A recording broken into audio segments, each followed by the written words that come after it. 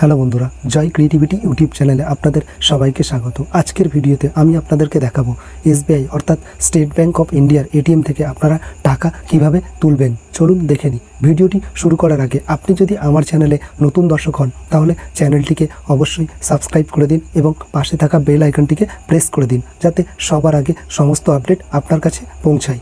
দেখুন, আমি চলে এসেছি স্টেট ব্যাংকের একটি এটিএমে এটিএমে আসার পর এটিএম মেশিনের এইখানে আপনার এটিএম কার্ডটিকে এইভাবে প্রবেশ করান। প্রবেশ করানোর পর আপনাদের সামনে এইরকম একটি ইন্টারফেস চলে আসবে। এখানে লেখা আছে please do not remove your chip card leave your card inserted during the entire transaction অর্থাৎ আপনার এটিএম কার্ডটি ততক্ষণই এটিএম মেশিনের মধ্যে রাখবেন যতক্ষণ না আপনার ট্রানজাকশানটি সম্পূর্ণ হচ্ছে। কার্ডটি রিড হওয়ার সাথে সাথেই আপনাদের সামনে এরকম একটি নতুন স্ক্রিন খুলে যাবে। স্ক্রিনের ঠিক ডান দিকে আছে দেখুন ইংলিশ এবং তার নিচে আছে হিন্দি। এবার আপনাকে ইংলিশ অথবা হিন্দি এই দুটি ভাষার মধ্যে যে কোনো একটি ভাষাকে বেছে নিতে হবে।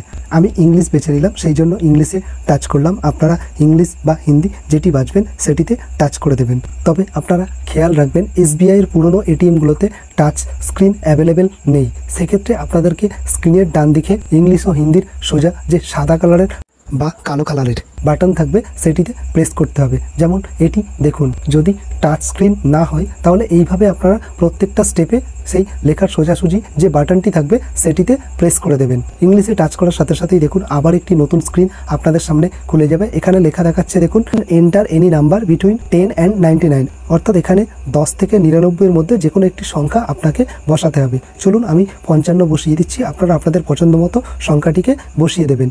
বসিয়ে দেওয়ার পর ইএসএ টাচ করে দিন। ইএসএ টাচ করার সাথে সাথে এখানে লেখা দেখাচ্ছে, দেখুন প্লিজ এন্টার ইউর পিন অর্থাৎ এখানে আপনাকে আপনার গোপন চার সংখ্যার পিন নাম্বারটিকে বসিয়ে দিতে হবে। কিবোর্ডে গিয়ে আমি আমার পিন নাম্বারটিকে বসিয়ে দিচ্ছি, আপনারাও আপনাদের পিন নাম্বারটিকে বসিয়ে দেবেন। বসিয়ে দেওয়ার পর অটোমেটিক আপনাদের সামনে আবার একটি নতুন স্ক্রিন খুলে যাবে। এখানে অনেকগুলি অপশান রয়েছে, দেখুন, টাকা তোলার জন্য স্ক্রিনের ডান দিকে উপরে যে ব্যাংকিং অপশান আছে, সেটিতে টাচ করে দিন। টাচ করার সাথে সাথে আবার একটি নতুন স্ক্রিন আপনাদের সামনে চলে আসবে। এখানে আপনি স্ক্রিনের ডান দিকে উপর থেকে দু নম্বরে যে উইথড্রল অপশানটি আছে, যে উইথড্রল অপশানটি আছে, সেই উইথড্রল অপশানটিতে টাচ করে দিন। টাচ করার সাথে সাথে আপনাদের সামনে অ্যাকাউন্ট সিলেকশনের অপশান চলে আসবে। এখানে আপনি আপনার অ্যাকাউন্টটিকে সিলেকশন করে নেবেন। আমার যেহেতু সেভিংস অ্যাকাউন্ট সেই জন্য আমি সেভিংসে টাচ করে দিলাম।